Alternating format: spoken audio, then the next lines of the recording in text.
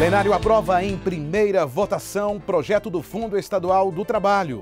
Extração de amianto em Goiás é debatida na CCJ. Proposta institui o Dia do Combate ao Bullying e Cyberbullying em Goiás. Esses são os destaques desta edição do Repórter Assembleia.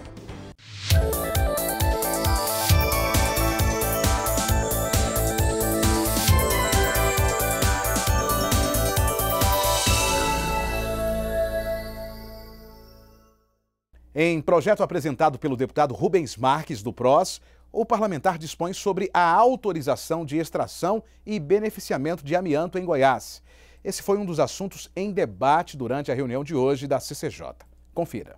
Quórum altíssimo na reunião da CCJ. Dos 11 titulares e mais 11 suplentes da comissão, 19 deputados registraram presença. A reunião foi acompanhada por vários revendedores de veículos. Eles pediam mudança em portaria do Detran. A matéria foi aprovada e segue para o plenário. Aprovado. Mas o tema que polemizou a reunião da CCJ foi a extração do amianto crisotila em Goiás.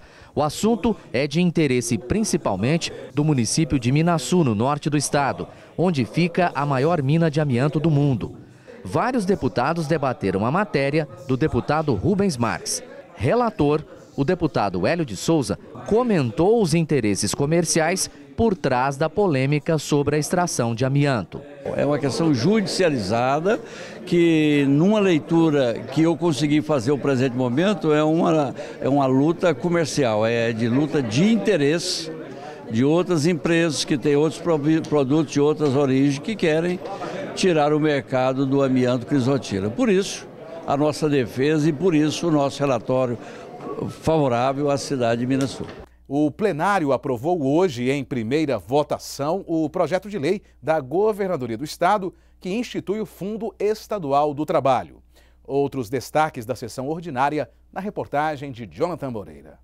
Durante a sessão ordinária desta quarta-feira, os deputados discutiram e deliberaram sobre vários projetos. O deputado Alisson Lima apresentou uma proposta que regulamenta o tempo de atendimento bancário em instituições privadas e estatais. Ninguém pode perder mais que 20, 30 minutos hoje dentro de uma agência bancária. E o comportamento das empresas, dos, dos sistemas bancários, das agências, a, dessas agências também de financiamento que temos hoje, infelizmente, tende a piorar cada vez mais. No pequeno expediente, Antônio Gomide usou a tribuna para para criticar os cortes de recursos para a educação. Nós precisamos, assim como aconteceu nas manifestações dessa última quarta-feira em todo o país, manifestações favoráveis à educação, nós estamos também manifestando a importância de não fechar e fazer com que fechemos escola, fechemos cursos, fechemos campos, mas que a gente possa estimular o governador Ronaldo Caiado a investir, a aprimorar a UEG, a investir, criar um orçamento maior, fortalecer esse debate em valorização da educação de maneira geral, seja com concurso público, no ensino médio, na Universidade Estadual de Goiás. E também estamos fazendo aqui o nosso dever de casa, fazendo a frente parlamentar em defesa das universidades públicas. Em seguida, o deputado Amauri Ribeiro, que pertence à base governista, também usou a tribuna e discordou das críticas de Gomide. As universidades, os campos, as UEGs têm total autonomia. O governo cumpre em dia o repasse de 2% da arrecadação para essas universidades. Cabe aos seus reitores terem competência para administrar. Quase no final da sessão, o projeto que trata das indicações dos membros da diretoria da Goiás Prev foi aprovado em primeira votação. Foi acordado da forma que foi a indicação será do executivo, né?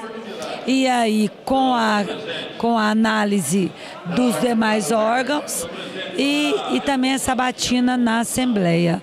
Mas os servidores é, perderam esse avanço.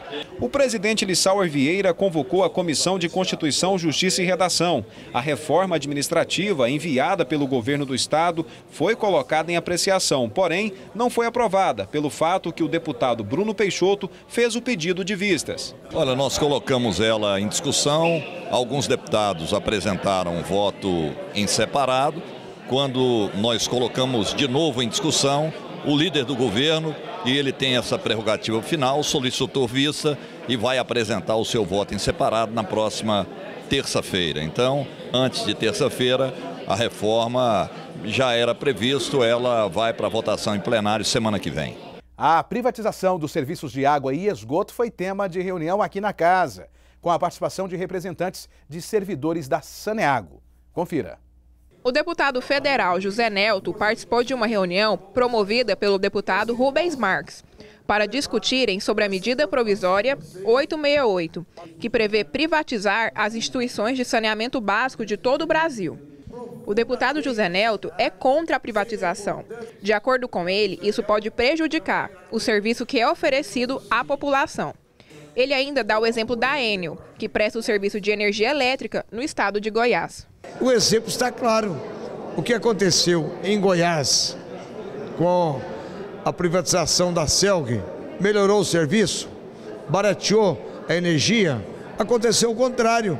O serviço piorou, o preço da energia praticamente dobrou e o povo sendo espoliado.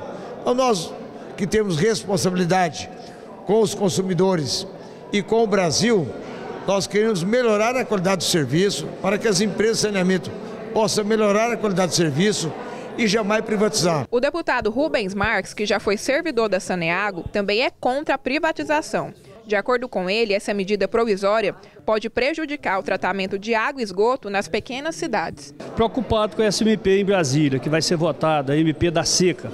Nós sabemos que as, onde foi privatizado, hoje estão voltando para o Estado de novo. E nós defendemos que o saneamento continue na mão do Estado. O deputado Zé Delto já se comprometeu em defender o saneamento e também vários outros deputados do Estado de Goiás.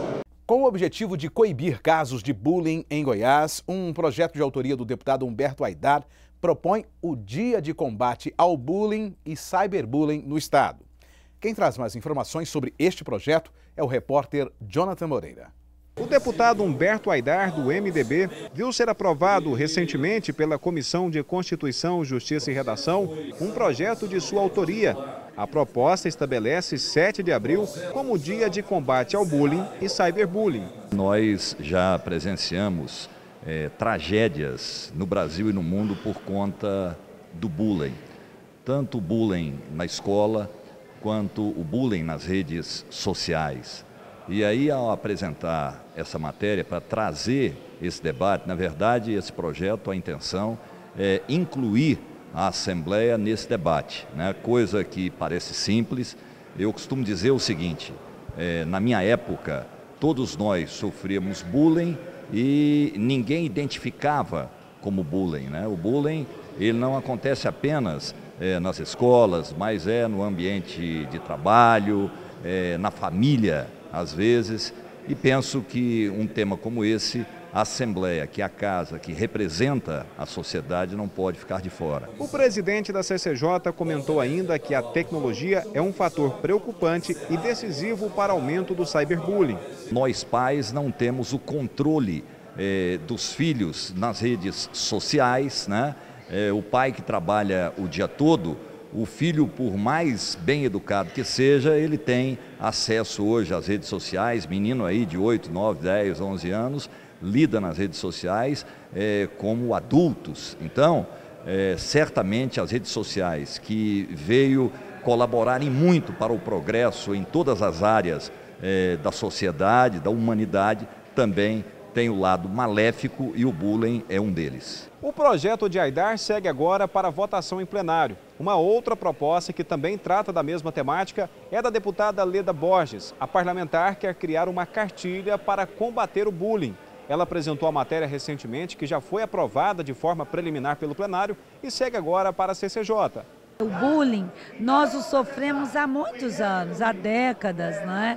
Também já fomos criança, mas tem hoje se transformado em um problema gravíssimo que tem levado os jovens à depressão juvenil, à automutilação, até ao suicídio.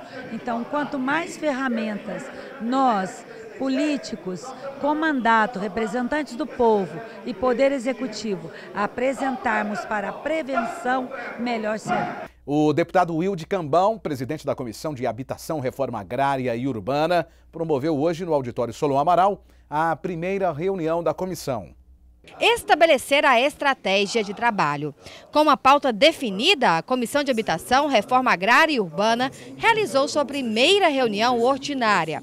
Logo no início dos trabalhos, deputados membros da comissão pontuaram problemas relacionados à habitação e à reforma agrária em Goiás. O primeiro projeto importante de lei que eu até apresentei nessa casa, a questão da isenção de taxas, para que você possa ter facilidade na construção da legalização da maioria desses imóveis que estão é, em, em, disputa judicial, que muitas vezes a entidade não tem condição.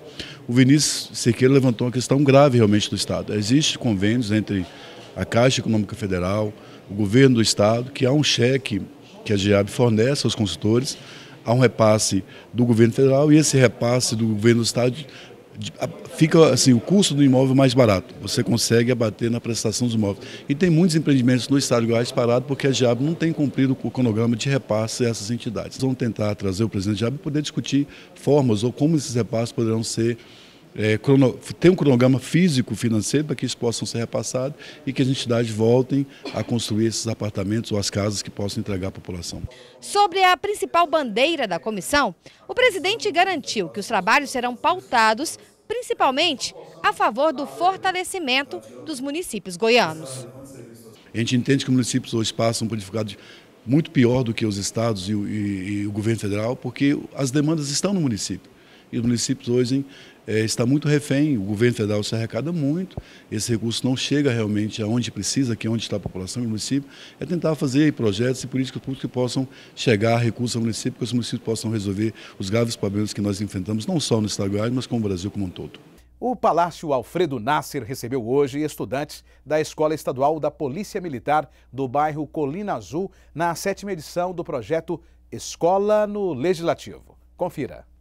O presidente da Alego, deputado Lissauer Vieira, recebeu na casa os alunos do terceiro ano do ensino médio da Escola Estadual da Polícia Militar, Unidade Colina Azul, para participarem da escola no Legislativo, com os temas Democracia e o Poder Legislativo. O presidente destacou que os colégios militares são um exemplo não só para a educação do Estado, mas também para a de todo o país. Eu sou um grande entusiasta do sistema do modelo de ensino do Colégio Militar e nós ficamos felizes em poder trazê-los até aqui para apresentar a história do Poder Legislativo, para apresentar todas as comissões, todo o que, como tramita os processos no plenário, como que são feitas todas as, as ações aqui no Poder Legislativo do Estado de Goiás. Então a gente fica muito feliz em poder estar recebendo hoje, nesse programa tão importante é, feito pela nossa Escola do Legislativo, todos os alunos do Colégio Militar. Os alunos Daiane Escobar e Matheus Henrique entregaram um presente para o presidente da casa e para o coronel Ricardo Rocha, como forma de agradecimento por receber a escola no Poder Legislativo.